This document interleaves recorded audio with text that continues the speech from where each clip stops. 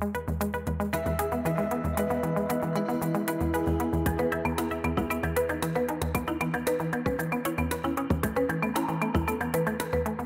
Kolm is joining us from Team Results USA. I've known John for a good long time now. He is a staunch supporter of Montgomery College and of our program at Montgomery College, um, the Southern Management Leadership Program. He's also a global best-selling author and the founder and CEO of Team Results USA, um, which is a widely acclaimed team development organization. Um, their clients include Toyota, Pfizer, Polo Ralph Lauren, Johnson & Johnson, and a ton of government agencies as well. His background um, is that he worked in the defense community for 10 years. He ran missions in the field. He's the former operations director of Australia's FDA, and you'll get to enjoy his lovely Australian accent as soon as we get started. um, and in 1996, uh, John founded Team Results with a former fighter pilot, Peter Ring, and the company now runs team development programs on four continents. He's also been running a webinar series since um, we've had the, um, the, the situation with us all being uh, working remotely to help teams do their work in this new um, remote environment. Uh, welcome. Thank you for joining us this evening, and it's lovely to chat to all of you. Uh, what Professor Razavi asked me to speak about tonight is uh, teamwork in virtual space. Is it the same? Is it different? Is there anything we can learn? Has everything changed completely or do the eternal verities still apply? And what about the future and what are some practical tips? For the purpose of today, uh, I am assuming that I'm talking to uh, a group of students and entrepreneurs. Would I be right about that, Rebecca? I think you're absolutely right. Yep. All right, good. So then there's one other question that should be added to all of those, which is the important one, which is, which is and what can you do about it? Because as entrepreneurs, people are looking to us above all else to lead, whether we feel like it or not, and to answer the question, well, what can I do about it? And they look at us and we're supposed to know because we're the entrepreneurs. So let's talk about that for a little bit. The first thing I'm going to try and do is a screen share um, because there's a quote that I want you to see and think about. And let me see if I can make that work like so. Rebecca, let me confirm that you can see a thing that yes. says team life in virtual space. I, it looks like we're about to, uh, yes, it's a string that's about to break. A string that's about to break, and the rope represents the human connections and the workspaces that we used to have a few months ago and will have again, but not for a while. And all of those things were the things that bound us together, created tribe and community and collaboration and cooperation and synergy and spontaneity and the emergence of great ideas that seem to come from nowhere and are really the consequence of putting a number of bright people together in the same space and time, providing with a glass of wine seldom hurts, and then leaving them alone. And that's where they come up with really good ideas. Well, we can't do that anymore. So if the rope represented the connections we used to have, then slowly over time, for our own safety, strands of the rope have become cut one after the other. We couldn't gather in large groups, then we couldn't gather in small groups, then we couldn't meet in a workplace at all. Um, then we uh, we couldn't uh, we couldn't do training face to face anymore. So we lost all those synergies, and now even the internet is beginning to be chipped away at. Since school came back two weeks ago, uh, the internet has become quite flaky. And those of you who aren't aware of that, I promise you that is the experience of some of our big clients, particularly big government departments, big corporations. I won't name them; it wouldn't be fair, but they are names you all know, and they are finding that they can't do things like have an all hands meeting uh, successfully with everyone participating online because the bandwidth in the system simply won't sustain it. And when they try, the thing crashes. So it's not just virtual communication anymore. It's restricted, limited, constrained virtual communication. You can't show your face because if everyone shows their face, the system breaks. So instead, we have to look at still avatars and communicate in chat. And uh, not 10 minutes before starting tonight's webinar, I just got off a communication with a major client on how we're going to handle that very issue that they have. So everything's been taken away from us. And that's what the last remaining strand is supposed to represent the internet. But even that strand is fraying. And you're going to see more of that because the internet was not designed for what we're using it for. Neither were our computers, neither was your home connection. Your home connection was for watching Netflix. Internet was for its normal load the accounts that large organizations have with WebEx or Adobe Connect or whatever it is were designed for a normal load. Now they're grossly overloaded and there's no opportunity to rebuild things in the time we have. One other thing I wanted to show you was this quote from an author named Susan Pinker. And I'd urge you to go out and get yourself a copy of her book if you can. You can get it online if you have an ebook reader, it's not expensive. Um, I don't like reading quotes out. So before I do, let me just say that this is for people who are dialing in and can't see a screen. If you can see a screen, then I apologize for reading the quote. But Susan Pinker said, digital networks and screen media have the power to make the world seem much smaller. But when it comes to certain life-changing transformations, they're no match for face-to-face. So let's not be in any illusions at all about being constrained.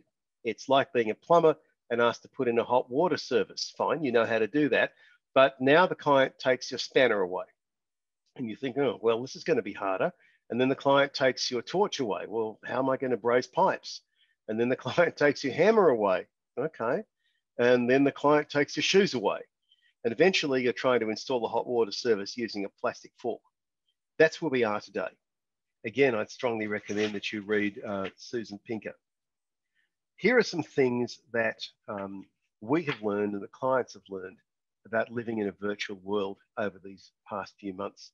The first of these is to pick a single technology and stick with it. Um, a lot of people are bouncing around. A lot of people are throwing spaghetti at a wall and hoping something sticks. And when they do find something that sticks, they're saying, right, everybody jump on Zoom, as though we all knew how to use it, as though we all had the same understanding and brought the same cultural paradigms to it. What organizations have found out the hard way is that that's not true. And everything from understanding the culture to understanding the technology has been a problem if there's no unification. So effort has to be put into getting people to learn that platform. You don't hire four pilots and tell them they're all flying 737s without giving them training on the 737. The result will be disastrous. And the same thing here too. So if you're trying to get people to work together in a virtual environment, you need to invest in their competence with the technology. First things first. The skill set also for managing teams face to face is not the same as it is for managing teams virtually. Um, when we manage teams face to face and you talk to a team of 20 people, you can use orator voice and you can dress well and you can impress them and stand in front of them and say, Well, folks, I suppose you're wondering why I've gathered you all here today. And this is a skill set that all of us work to develop very hard. I have spent a lifetime in performance. Um, I used to, I started in radio, uh, doing voice performance on radio, and you spend a lifetime honing these public speaking skills. They are less relevant now because you're not really speaking to 20 people, even when you're speaking to 20 people. The essential transaction in an online environment, and this might be the most important point I have today, is retail. It's me to you. Now, there are 19 other yous out there, but each of you is an individual. You're not a group of 19. So the nature of the transaction that exists between us is personal. It's me talking directly to you, not to a group of 20 people, even if there are 20 of you. It's 20 individual conversations that happen to be occurring simultaneously. But every person's experience is a personal experience. And if you have any training in performance, you'll know that I'm talking about the difference between stage acting and movie acting. Stage acting is all about big voice and presence and big gestures and being seen and let's go over there and follow us to the brave new world with whatever we're doing in an organization. Whereas movie acting and movie performance, individual communication is always about two things. And those two things are the face and the hands.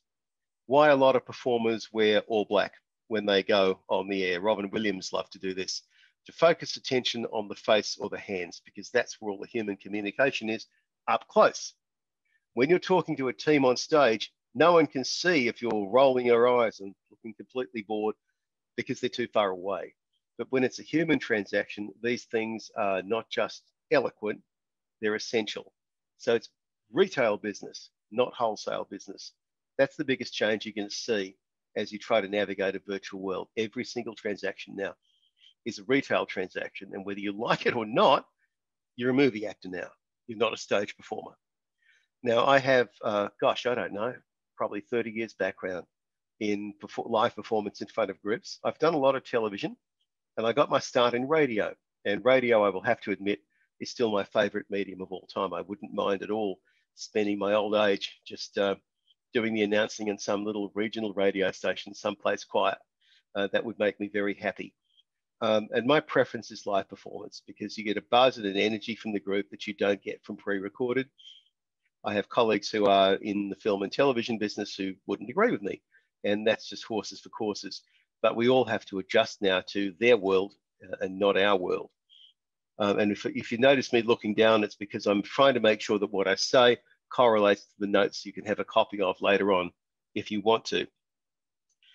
One thing that Professor Razavi was saying before we went to air, uh, and it's something I want to talk about now, but I want to quote the professor, if I may. She said, somehow, somehow we're all movie producers now. How did that happen? How did we all turn into movie producers? Um, I think that's a very penetrating observation that to succeed in this virtual world, you really need to get used to constant content production. The sort of thing the TV stations did 10 years ago, you now have to do with your home computer and sometimes with your cell phone. And those cell phones are more powerful than a lot of home computers, by the way, in terms of production and telecasting capability. But it's constant content production that rewards those who choose to fully participate. So in your content production, make sure there's a reward there for those who fully participate that's not there for those who partly participate. You can do that by building in a reward at the beginning, by building in a reward at the end, but we don't do things unless there's valence. Um, we don't work hard for the teacher unless, you know, the teacher gives us a gold star at the end of that time. So be sure that you are rewarding the behavior that you want and the behavior that you want is full attention, not half attention, not pretend attention. More about that in a minute. Um, the biggest challenge is bringing the whole team along with you. Old people, young people, different genders, different cultures, different languages, different cultural paradigms, all using the same platform. They're all going to have a different experience. And it is much, and that's always been true for leaders, but it is much harder for you to know now because you'd have to be a pretty um, courageous sort of individual to attend a physical meeting, yawn cavernously, lean back, put your feet on the desk, pull out a book and start reading it. That's a bit ruder than most people are willing to be. Well, people are doing all that stuff online and more, and you don't know because they turned on their avatar and then because they were bored and they went out and they fed the dog and they checked their kids' homework, they checked their shopping list, they figured out what they're going to watch on Netflix tonight. But as far as you know, they're paying attention because all you're seeing is like that an avatar, a still picture. And in fact, you can even get moving avatars that do this kind of thing. and the person hasn't been near the webinar for, for ages. So it is harder for you to get people's attention, harder to retain it, and harder to know if you're succeeding. Bringing the whole team up to competency is really important. Um, engagement is much more of a pre-planned, succinct appeal to the individual. And although I hate to say it, you will need some performance skills so if you want to work on your performance skills, you should work on your performance skills. It would be nice to think the content is always enough. And after all, you are the entrepreneur, so you deserve some respect for that. And you have authority, leadership, knowledge, competency, skill, passion, energy. These should be enough to get people's undivided attention. Well, they're not. Not in the virtual world. You have to put a little bit of sugar in the medicine to make it go down. Uh, I would strongly invest in, invest in invest advise rather uh, investing a little bit in physical performance skills, which is simply a matter of being able to perform with comfort in front of the camera rather than stare at the lens like you're trying to hypnotize it because you think that's how you make eye contact the whole time. But the actual effect of it, if you're watching, is really, really creepy. Or to constantly be looking for your notes, like what was I going to say next? And you convey the image, although it's not true, you convey the image that you couldn't care less. So why should your viewer care? So practice these skills and rehearse the voice as well. We just finished a webinar on that today, actually. Um, I had a colleague, a friend, Greg St. James, who was the, one of the top uh, DJs, disc jockeys in Detroit for many years, and counts among his personal friends the likes of Debbie Harry and all the Stones, particularly Ronnie Wood. He's still in good touch with all of them today. He has a, a Ronnie Wood original picture up on his, his wall of his office, actually. And Greg was talking to us about professional voice performance. Um, rehearse, rehearse, rehearse, record yourself, play it back. You'll probably hate it. A lot of performers do, I do. You have to get over it. Um, the only way you'll know if you're uh, umming uh, all the time and if uh, your eyes are you know, wondering and you're leaving disconcerting pauses in what you say, is to see it back again. You're not aware of these things when you do them. So record, replay, get better. Guess what? Greg St. James didn't become one of the nation's top voice actors and voice performers overnight. And for that matter, neither did Debbie Harry. They all worked their tails off for years to get good. So you need to do the same, practice and rehearse. If you want a wonderful example of the voice at its very best, go online and look for a British actor named Richard Burton, B U R T O N, film and television actor, reciting a poem by Dylan Thomas called Fern Hill. And if you doubt the power of the spoken voice to bring words alive and to compel attention, listen to Fern Hill, it'll change your mind. I challenge you to wander off halfway through Fern Hill, bored, and go and make yourself a cup of coffee. You're not going to do that. Your coffee's going to go cold. You won't even notice. Now, we can't all perform like Burton. He was probably the greatest voice performer of his time. But listen to Fern Hill and learn some tricks for getting people's attention is the best advice I can give you. Um, and if you don't imagine, it's it's about childhood. It's about growing up on a farm in England. But if uh, you don't find that that brings it vividly alive to you, listening to that work performed in the voice, then I don't know what else to say to you. Just just listen to Fern Hill. Just do it, and you'll know what I'm talking about. Three big tricks for leading virtual teams. Firstly, take advantage of the fact that it's a personal communication for each and every attendee. It's a personal experience. Take advantage of that. There's a film called The King's Speech, which I will admit is about an Australian. It's about a guy named Lionel Logue, who was a real guy, and he taught Queen Elizabeth's father how to do public speaking. Her father was terrified of it. And the best advice that's in the movie at the end, when he has to address the whole nation, millions of people, he says, forget about the whole nation, forget about millions of people. If you have something to say, say it to me. So when you have something to say on the air and you want that personal question, that personal connection, say it to someone, a specific imaginary someone on the other end who's friendly and who's listening to you. It'll make a huge difference to your performance.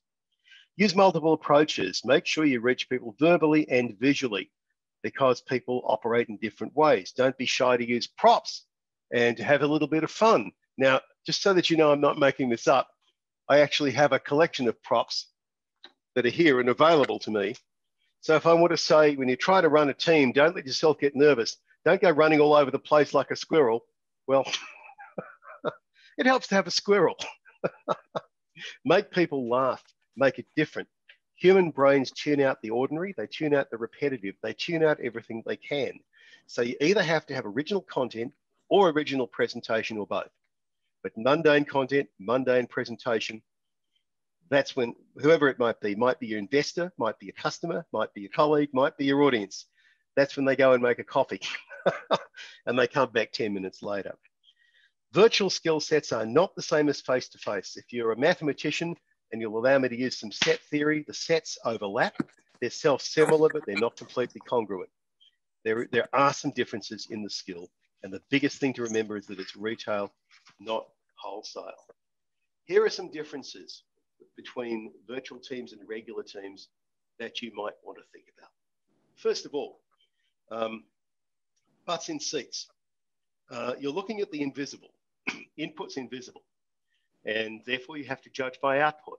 Now, that's actually a good discipline because too much instruction in the past has been judged by input. And we all know that when we fill out happy sheets. Was the instructor on time? Were they well dressed? Um, did, you know, did, did it look like they'd showered at least sometime in the past week? And we fill these things out. We go, yes, yes, yes, it was all great. These are called happy sheets and they mean nothing because the important thing is outcome and results. And now that's the only tool you have. So be sure you're watching outcome and results. Get feedback, be inclusive, make sure people know that they are both listened to and heard. The number one thing people want when they're in an audience being addressed that is not addressed is to feel seen. I'm going to say that again to feel seen. If you can make people feel seen, you will have their, their input and their energy and their commitment.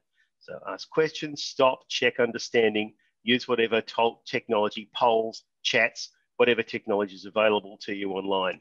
And I see people uh, jumping in on the chats.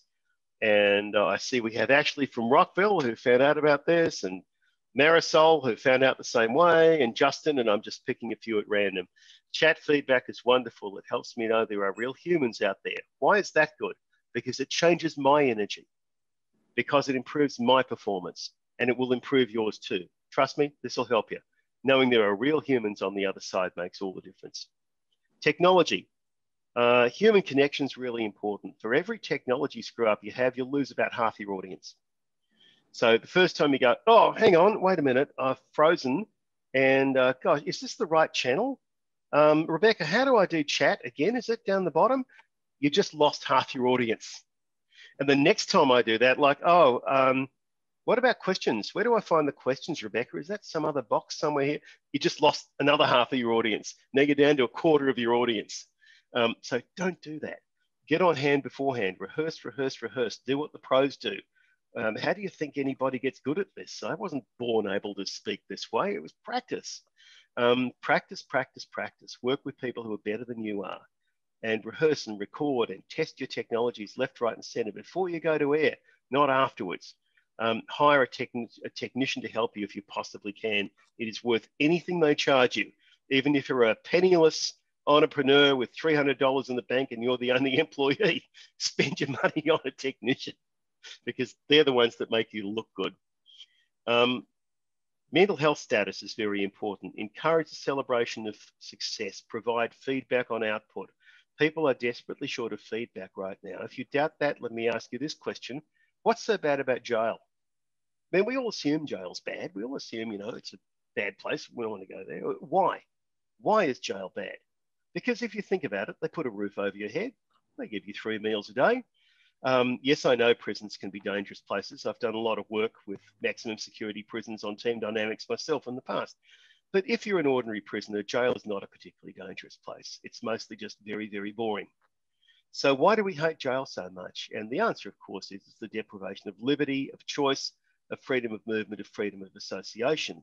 That's what makes jail such a continuing popular yeah. punishment in so many societies around the world. What are people experiencing now in lockdown? Yep. Limited social connection, limited choice, limited movement, limited variety, limited control. Our own videographer, yes, I do have a videographer to, you know, we all need help to look good. Uh, our company has a videographer.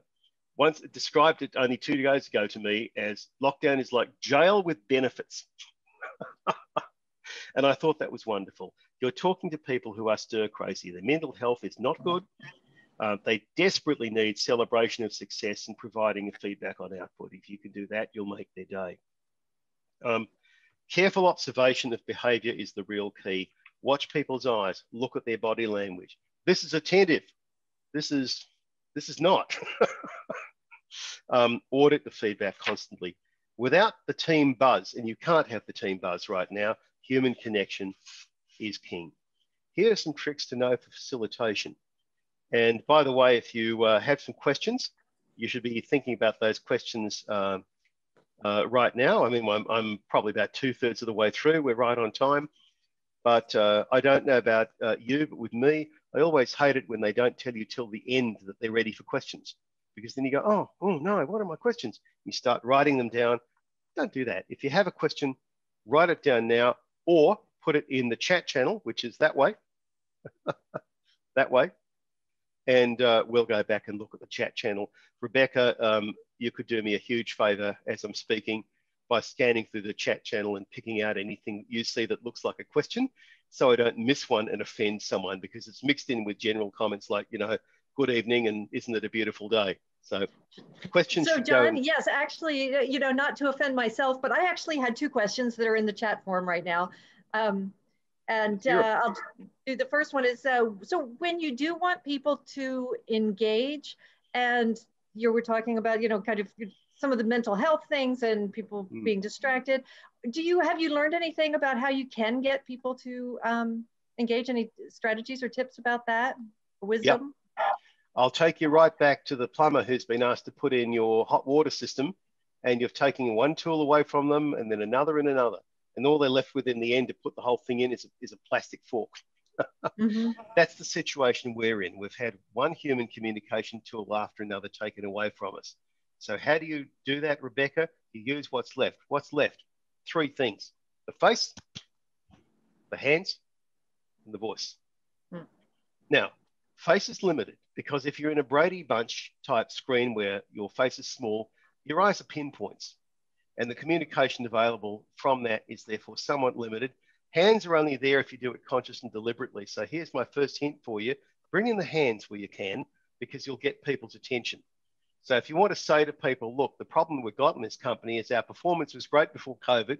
And since then, it's just gone down, down, down. And there doesn't seem to be any bottom. Bring in the hands, you have people's attention. Same way if you model attention with the camera, your relationship with the camera should be like your relationship with a person.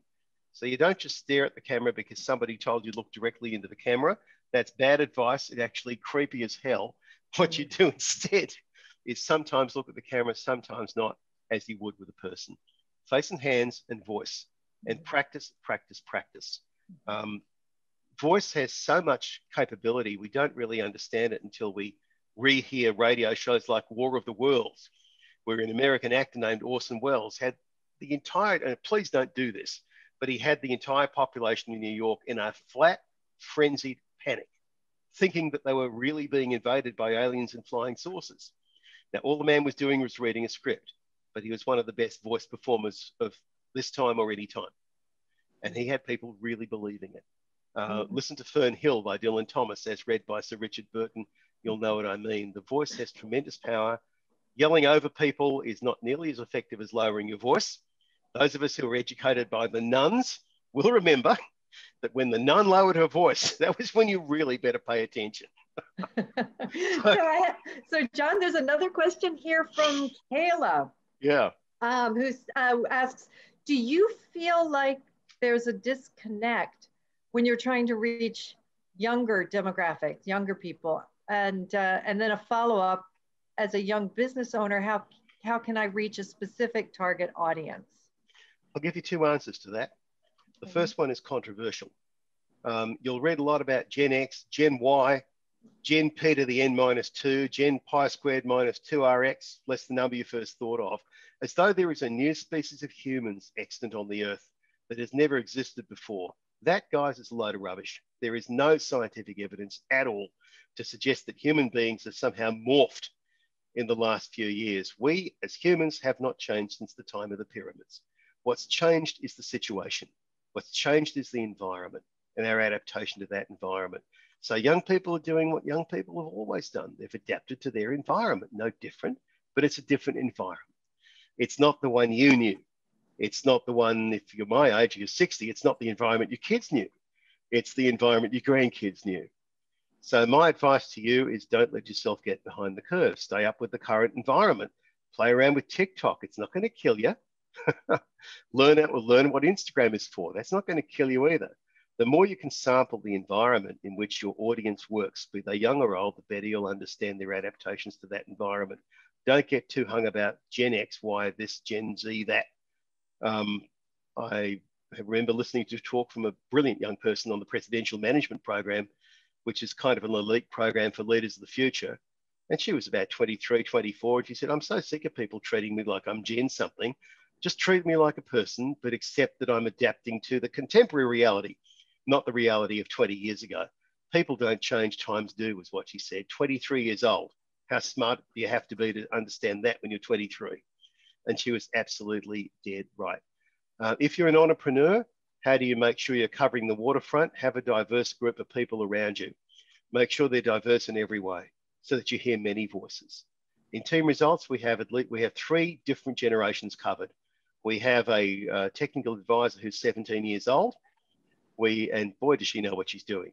We have a social media specialist who's a graduate of the Southern Management Program. Shout out to Layla Gilbert Rivera. and she's in her early 20s. Uh, we have a couple of managers who are all in their late 30s, early 40s, and I'm 60. So when before we do anything, we test it's going to work in the generations. Um, follow, um, hear as many different voices as you can, have a diverse group. Convergent groups make bad decisions.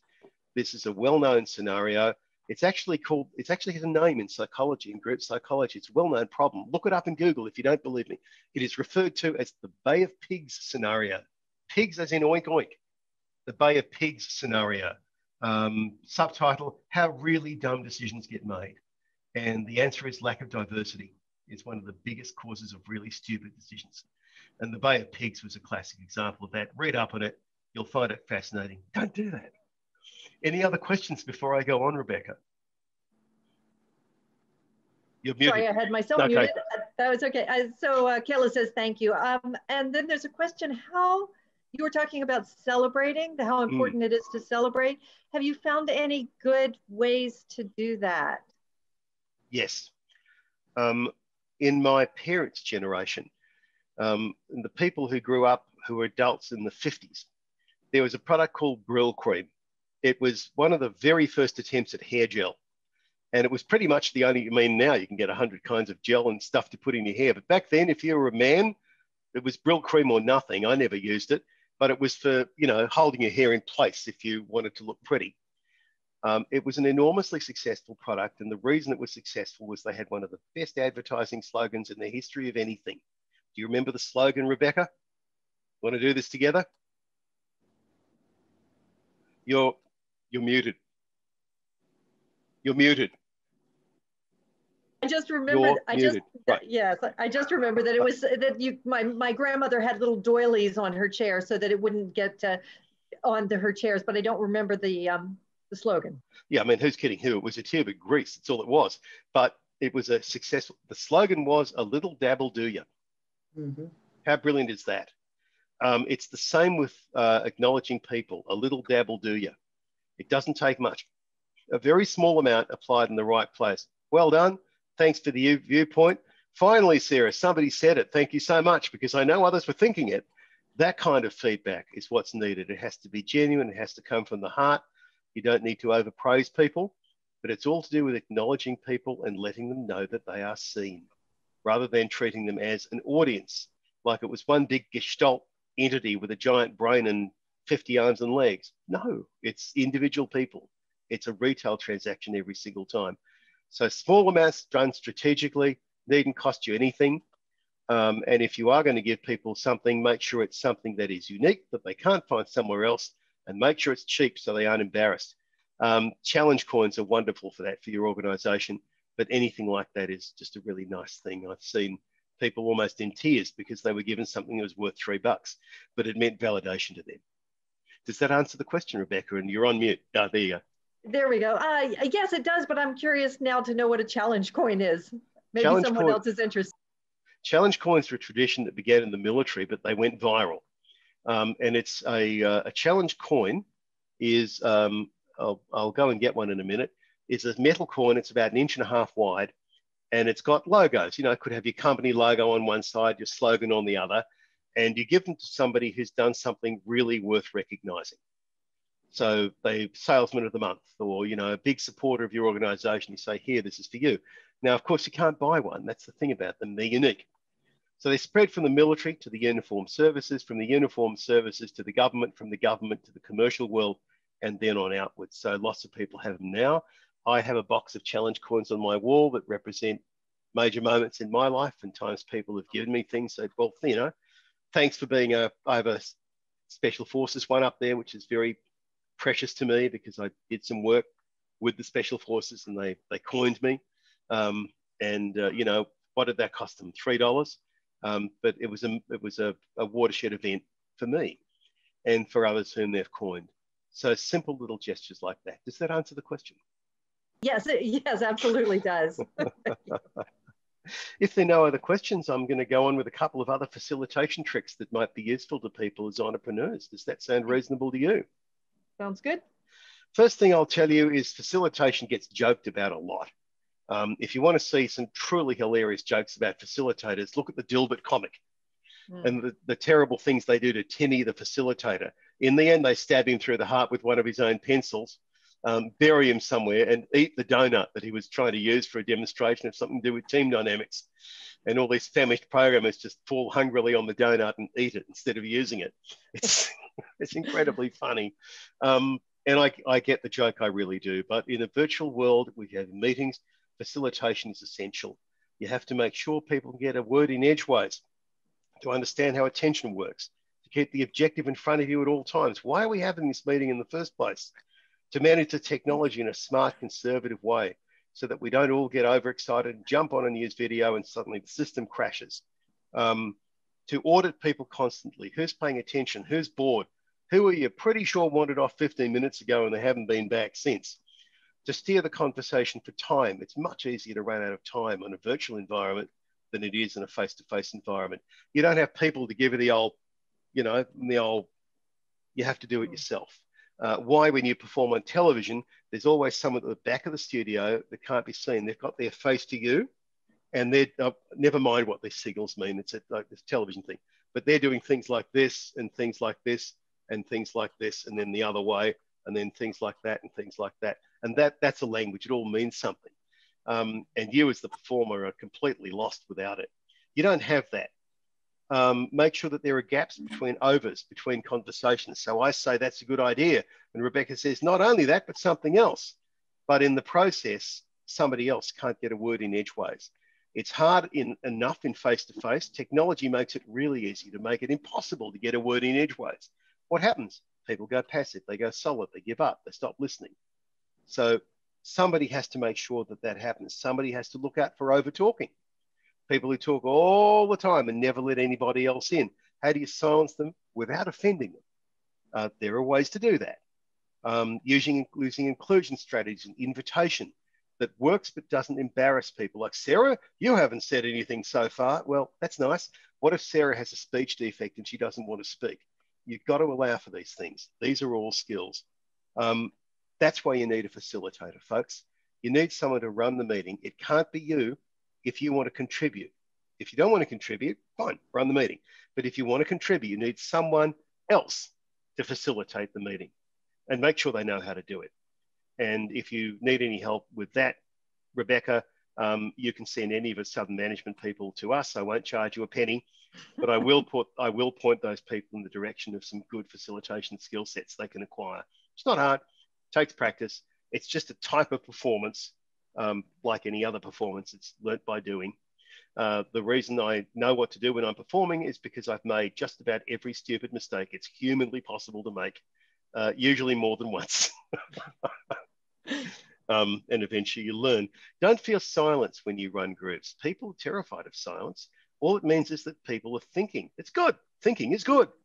So um, if you say so, uh, what do you think about? You've all seen our strategic plan for the next year for this, for as we grow this business out. What do you think?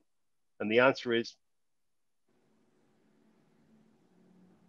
it's naturally disconcerting. Um, learn to write it. Make friends with silence. Uh, it means you've propelled people into thought. Someone will eventually speak, I promise you, and it mustn't be you. If you speak first, then you lose. You wait till someone speaks and the floodgates will open. Hmm. Um, there are some tricks to do with that that are more subtle than that, but all I want to say for now is don't feel silence. Now, the Queen of England has a wonderful saying, which I'm going to steal and pass on to you. Her saying is, um, is um, how does it go now? That's right country first, duty second, self last. And she's been known to say that to some of the royals who get a bit uppity, like, Do you know who I am? And the Queen says, Nobody cares who you are. self last, duty first. Um, to you, I say um, the seriousness of your subject, your audience first, meet their needs. The seriousness of your subject, second. It might be very serious, but again, self last. Be serious, without being self serious.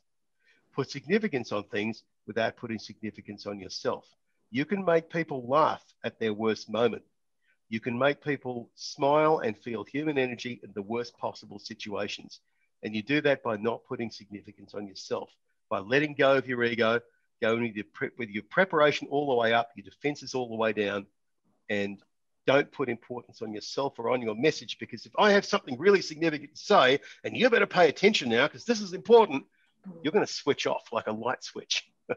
Whereas if you're willing to be a little bit human, say, do you realize the last time we ran this project was probably the biggest screw up in the entire history of human endeavor on the face of the planet Earth?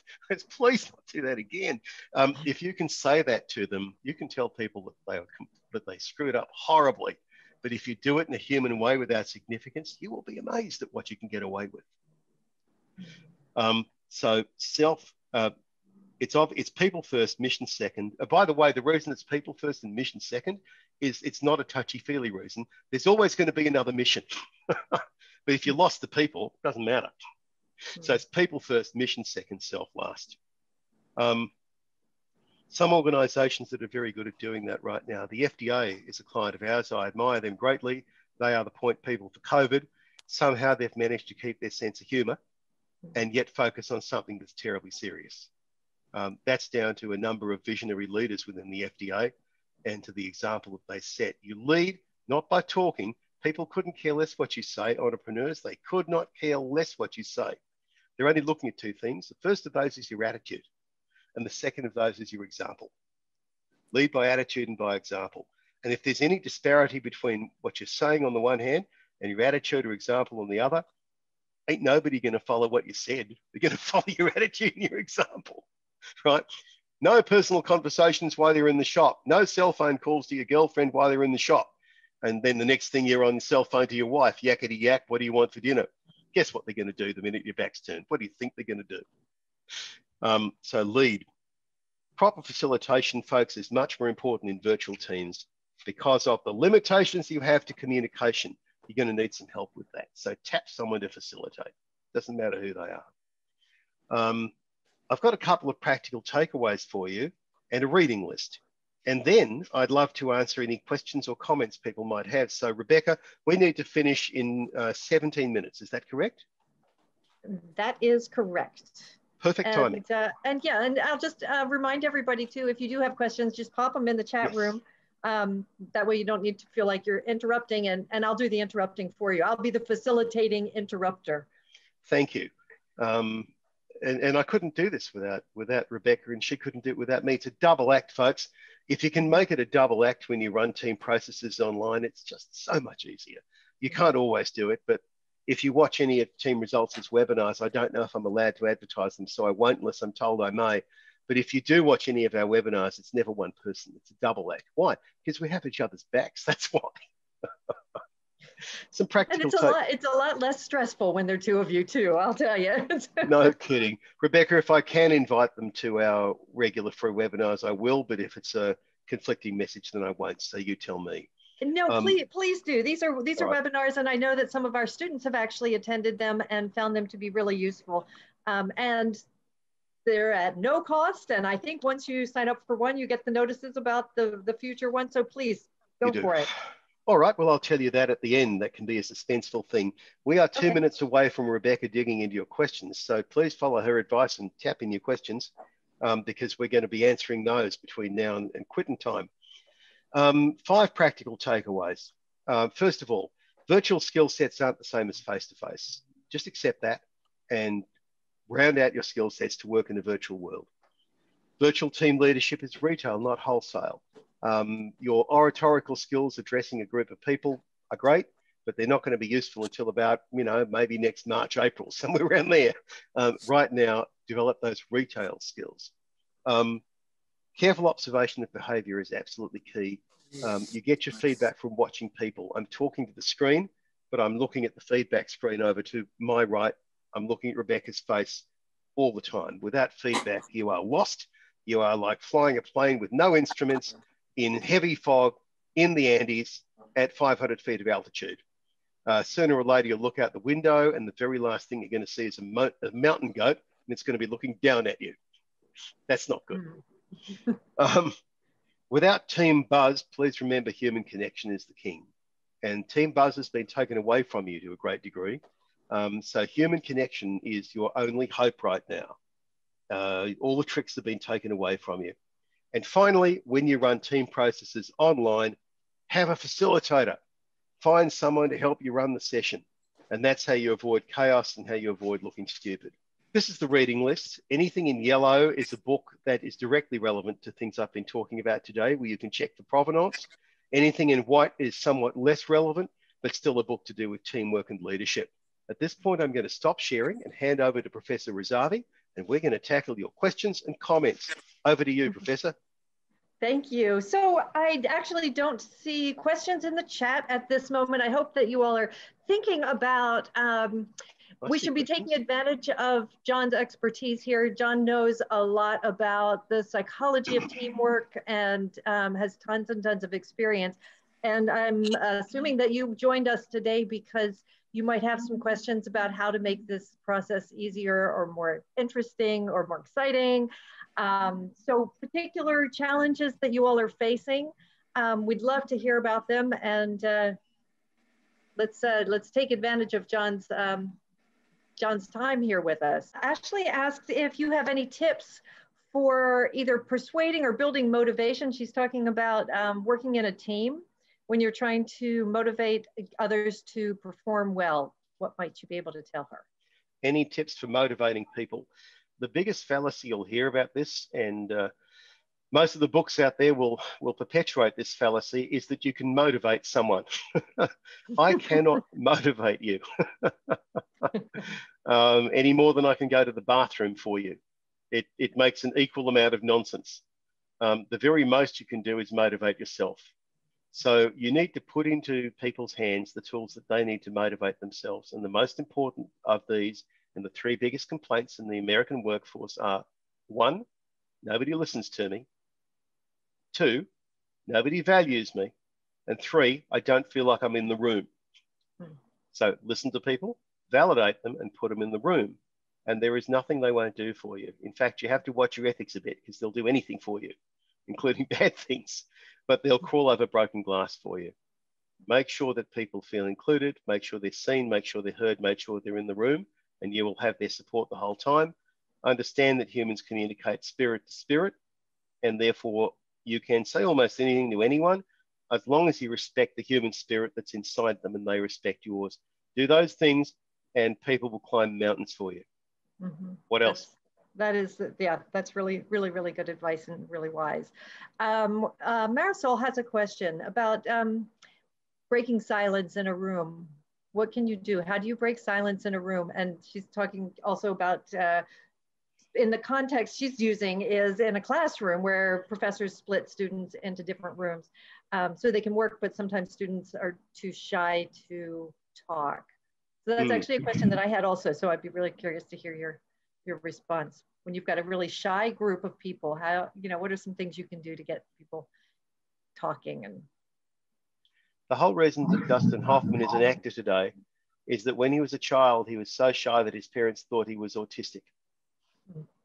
And so they took him to a special class for autistic kids. And that was when they discovered he could do voices and perform. And he still has a great deal of empathy for autism, which is why he does such a great, uh, a great job in the movie Rain Man. And there is some autism in his family as well. So he has a good understanding of it. So, very shy people, it's kind of a mischaracterization. And it's why I'm not very fond of personality typing instruments because they classify people like they were cornflakes. And that was never the intention of some of the great thinkers in psychology, like Jung. Jung would have been horrified, scandalized, mortified at the use of his research for any of those agendas. It was the opposite of everything he believed in. Jung believed that the human spirit was a religious entity. That was the essential belief that gathered Jung all of his ideas his whole life. So, shy people, there are no shy people. There are just shy behaviors. Mm-hmm. There are no extroverted people. There are just extroverted behaviors. So when people are quiet, if you have a big, strong voice, one of the biggest favors you can do them is lend them your big, strong voice. Hey guys, I think we're missing something pretty important here. And it's anything that's better than that is you go to Sarah beforehand. You say, hey, Sarah, you're trying to tell us that there's a crack in the base of the rocket. The whole thing's going to blow up and kill everyone. I don't think anyone's listening to you. Now, do you want me to say that for you? Or would you just like me to tell them to shut the hell up so they can listen to you? And said, it'd be nice if they just shut up and listen to me. Right, I can do that. Hey, all of you, heads up, shut up. Sarah's got something to say. I have no problem doing that because I've been trained to use parade ground voice. So you can be, you can lend a little of your strong voice to help someone who has a weak voice, and maybe they'll lend your strong idea to your weak idea, and maybe the space shuttle doesn't blow up.